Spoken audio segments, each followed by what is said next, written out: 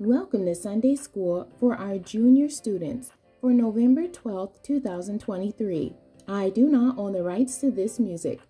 Today's Bible basis is coming out of Exodus chapter 12, verses 1 through 14.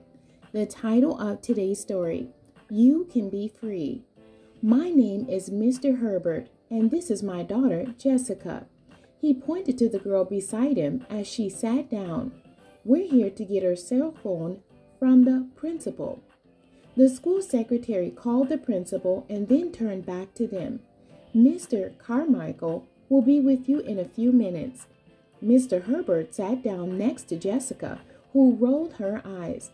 Jessica, you know not to use your cell phone in class. You cannot blame anyone but yourself.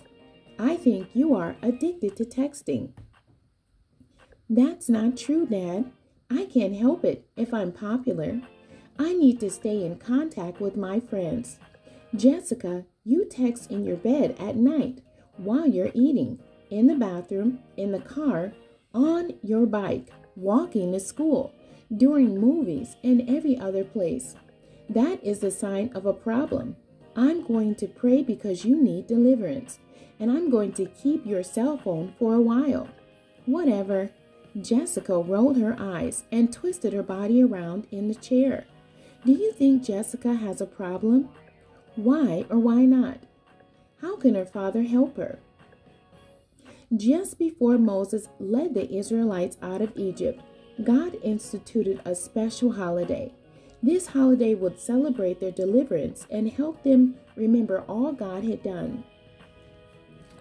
Our lesson scripture Exodus chapter 12, verses 1 through 14.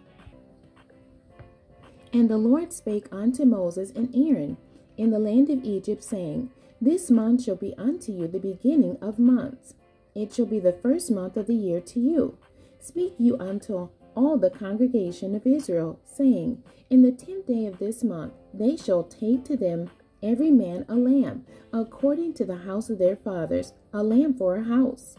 And if the household be too little for the lamb, let him and his neighbor next unto his house take it, according to the number of the souls.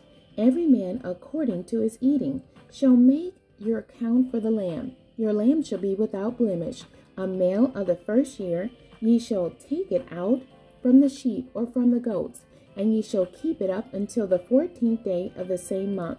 And the whole assembly of the congregation of Israel shall kill it in the evening, and they shall take of the blood and strike it on the two side posts and on the upper door posts of the houses, wherein they shall eat it, and they shall eat the flesh in that night, roast with fire and unleavened bread, and with bitter herbs they shall eat it.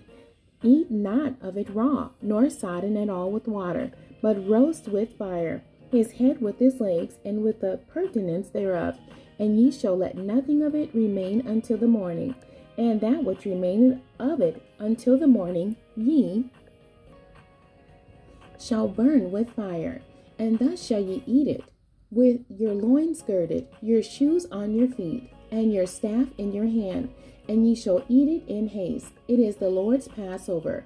For I will pass through the land of Egypt this night, and will smite all the firstborn in the land of Egypt, both man and beast, and against all the gods of Egypt. I will execute judgment. I am the Lord. And the blood shall be to you for a token upon the houses where ye are.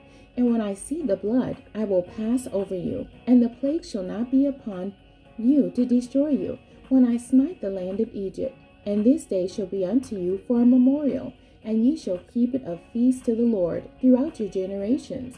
Ye shall keep it a feast by an ordinance forever.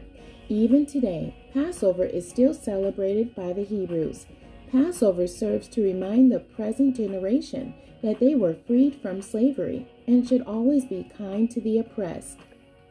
The memory verse for today And this day shall be unto you for a memorial, and ye shall keep it a feast to the Lord. Throughout your generations, ye shall keep it a feast by an ordinance forever. And that's Exodus chapter 12, verse 14. In the story today, Jessica's father had to come to her school to retrieve her cell phone. She had been texting in class, and her father thinks she has an addiction to texting. How can we help family, friends, and others who may need deliverance from some type of problem or addiction. Whether it be food, alcohol, drugs, shopping, television, or stealing, etc. This week, you are challenged to think of ways the church can participate in freeing those who are in bondage. Share your ideas with your church leaders and try to implement a plan for action. The end. God bless you and thank you for joining me today.